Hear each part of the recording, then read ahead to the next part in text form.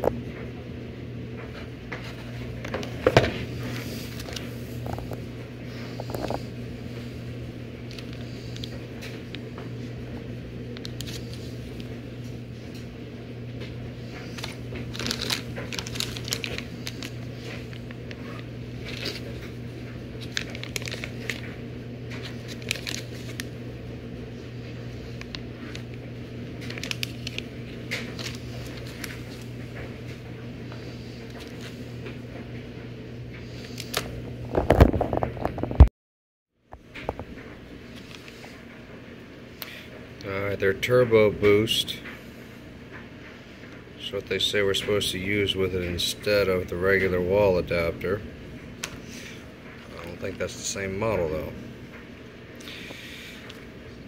It's like just some basic stuff to hold the wiring in and longer screws if you need to mount it.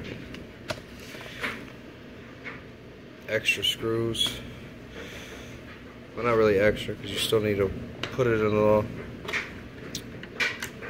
cabinet or whatever else you may use. This is your template.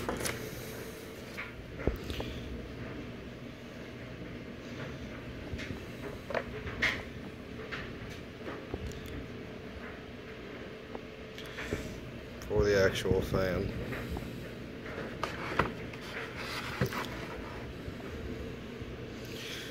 The outside. That's the inside.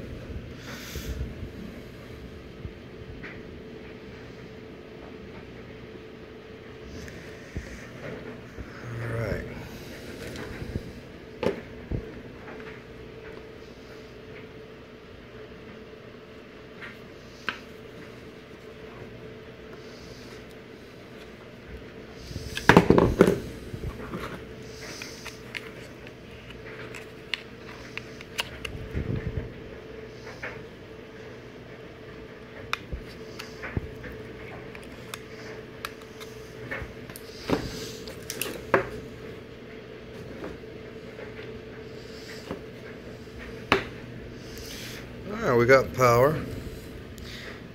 There's a little speed switch here. It's off. Low, medium, and high.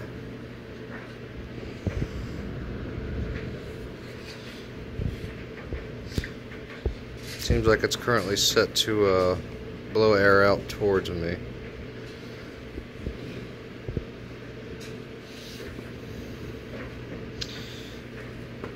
As of right this very moment, not bad. That's all I can say.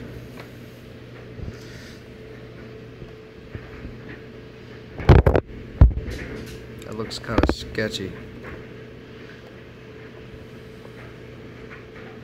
And considering the cord right beside it is actually, you know, regular, regular cord. Doesn't look like it's actually spliced into anything at all, whereas that one does. I know it's going to be sitting still and not moving around, but still.